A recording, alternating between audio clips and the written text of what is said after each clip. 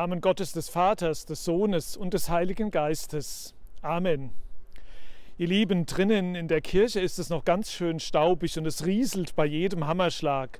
Aber das hier ist auch einmal ein ganz interessanter Ort außerhalb der Kirche und so feiern wir den Gottesdienst hier draußen. Das Gerüst ist ja eigentlich gar nicht so hoch, aber wenn man sich das Dach anguckt, ganz schön steil und ich frage mich, hat man da nicht Angst als Dachdecker, wenn man da hochsteigt? Und was ist überhaupt Angst? Angst und Furcht, darum geht es in diesem Gottesdienst. Nun, die Dachdecker, die benutzen so einen Helm oder mit einer anderen, weniger attraktiven Farbe und klettern mit Leitern hinauf auf das Dach, um nicht abzustürzen. Und sie haben so ihre Vorschriften und ihre Erfahrung. Aber was hilft uns eigentlich, gegen unsere allgemeine Lebensangst, besonders in diesen Zeiten. Darum soll es in diesem Gottesdienst gehen. Und ganz besondere Grüße gehen heute nach Belfast, denn eigentlich wäre dort heute Gottesdienst, aber ihr wisst ja, warum das heute nicht der Fall sein kann. So feiern wir diesen Gottesdienst.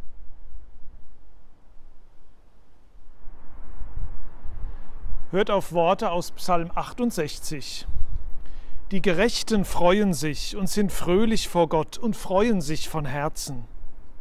Singet Gott, Lob singet seinem Namen, macht Bahn dem, der auf den Wolken einherfährt. Er heißt Herr, freut euch vor ihm. Ein Vater der Weisen und ein Helfer der Witwen ist Gott in seiner heiligen Wohnung. Ein Gott, der die Einsamen nach Hause bringt, der die Gefangenen herausführt, dass es ihnen wohlgehe aber die Abtrünnigen bleiben im dürren Land. Gelobt sei der Herr täglich. Gott legt uns eine Last auf, aber er hilft uns auch. Amen. 2. Timotheus 1, Verse 7 bis 10 Denn Gott hat uns nicht gegeben den Geist der Furcht, sondern der Kraft und der Liebe und der Besonnenheit. Darum schäme dich nicht des Zeugnisses von unserem Herrn, noch meiner, der ich sein Gefangener bin, sondern leide mit für das Evangelium in der Kraft Gottes. Er hat uns selig gemacht und berufen mit einem heiligen Ruf, nicht nach unseren Werken, sondern nach seinem Ratschluss und nach der Gnade, die uns gegeben ist in Christus Jesus, vor der Zeit der Welt. Jetzt aber offenbart ist durch die Erscheinung unseres Heilands Christus Jesus, der dem Tode die Macht genommen und das Leben und ein unvergängliches Wesen ans Licht gebracht hat durch das Evangelium.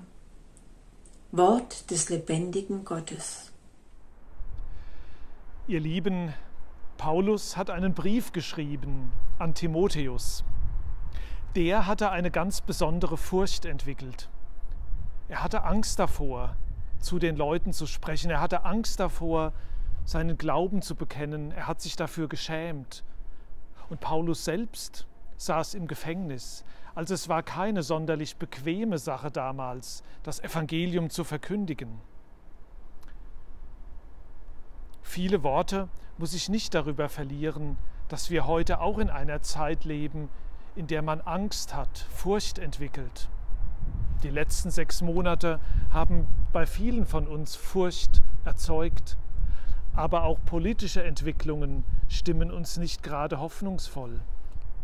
Wenn wir an unehrliche oder egoistische Staatenlenker denken, dann denken wir gleich daran, wie sehr die Demokratie gefährdet ist.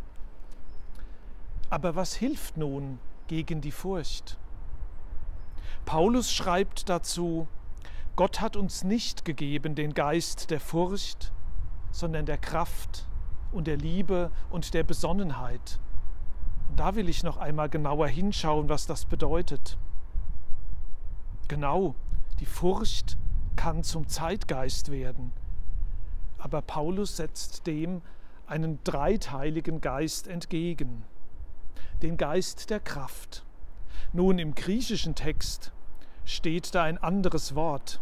Da geht es nicht um Bodybuilding, um körperliche Kräfte, da geht es um Dynamis, Dynamik. Und das kennen wir gut. Bewegung, Antrieb. Angst ist das Gegenteil. Angst führt zur Erstarrung. Der Geist der Dynamik hingegen lädt dazu ein, neue Wege und Auswege zu finden. Und genau das machen wir ja gerade in diesem Gottesdienst, wo die Kirche nicht betretbar ist wegen des bekanntlich erwähnten Staubs. Deswegen sind wir hier draußen. Dynamik. Dann nennt Paulus den Geist der Liebe. Da steht im Griechischen Agape. Und das meint die Nächstenliebe, die Menschenliebe. Ein Geist, den wir so bitter nötig haben in unserer Zeit. Eine Zeit, da die Umwelt zerstört wird und immer mehr Menschen nur an sich selbst denken, an ihr kurzfristiges kleines Glück. Der Egoismus, er zerstört immer mehr Solidarität von uns Menschen untereinander. Die Liebe, die des anderen Beste sucht, das ist ein Spirit, den wir nötig haben, genau in unserer Zeit. Und schließlich nennt Paulus den Geist der Besonnenheit. Ruhe bewahren, besonnen handeln, also erst einmal nachdenken. Das ist bitter nötig in einer Zeit, da krude Verschwörungstheorien fröhliche Urständ feiern. Besonnenheit ist etwas anderes.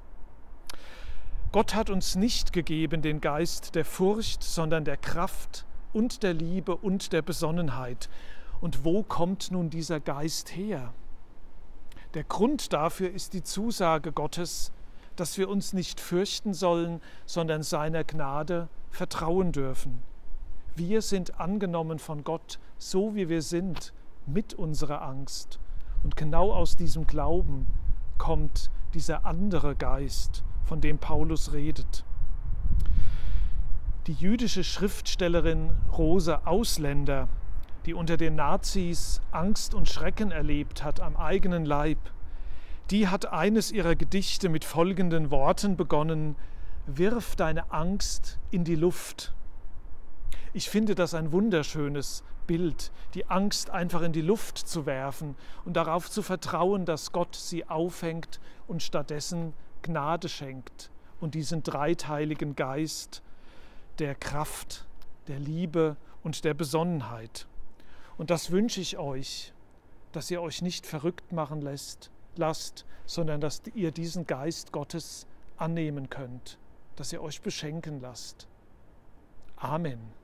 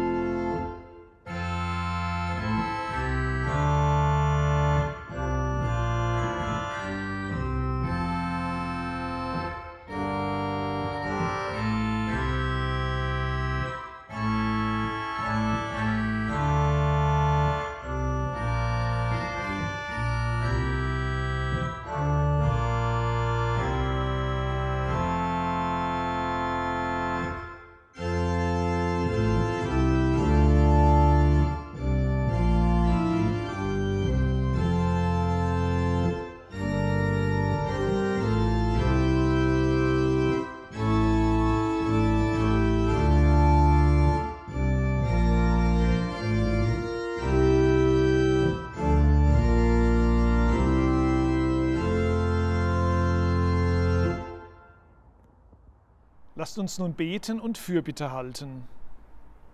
Gott, wir werfen unsere Angst und Furcht in den Himmel. Fang du sie auf und wandle sie um in Dynamik, in Liebe und Besonnenheit. Wir danken dir für das Glück des Lebens.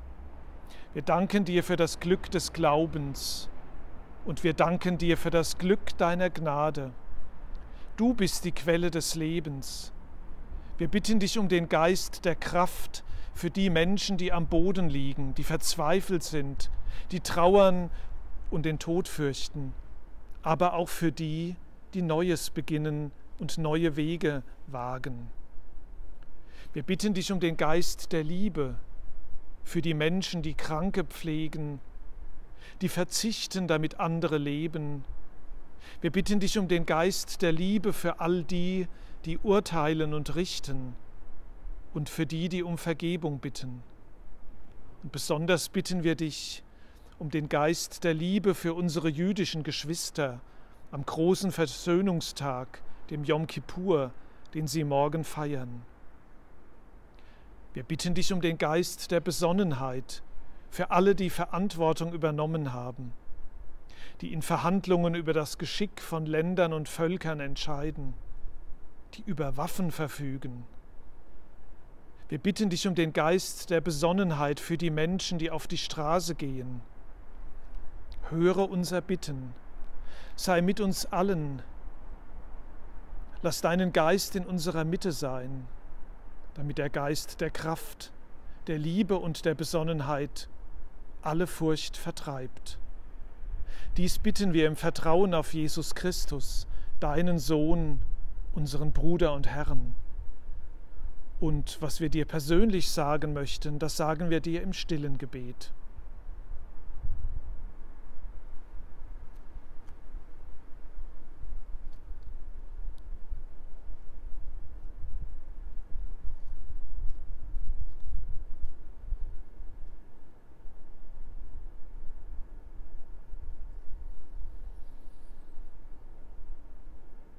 Gott, wir bitten dich, höre uns, wenn wir zu dir beten. Lasst uns miteinander das Vaterunser beten. Vater unser im Himmel, geheiligt werde dein Name, dein Reich komme, dein Wille geschehe, wie im Himmel, so auf Erden. Unser tägliches Brot gib uns heute und vergib uns unsere Schuld, wie auch wir vergeben unseren Schuldigern und führe uns nicht in Versuchung, sondern erlöse uns von dem Bösen. Denn dein ist das Reich und die Kraft und die Herrlichkeit in Ewigkeit. Amen. Geht nun in die neue Woche unter dem Segen des Herrn. Der Herr segne dich und behüte dich. Der Herr lasse sein Angesicht leuchten über dir und sei dir gnädig. Der Herr hebe sein Angesicht auf dich und schenke dir Frieden. Amen.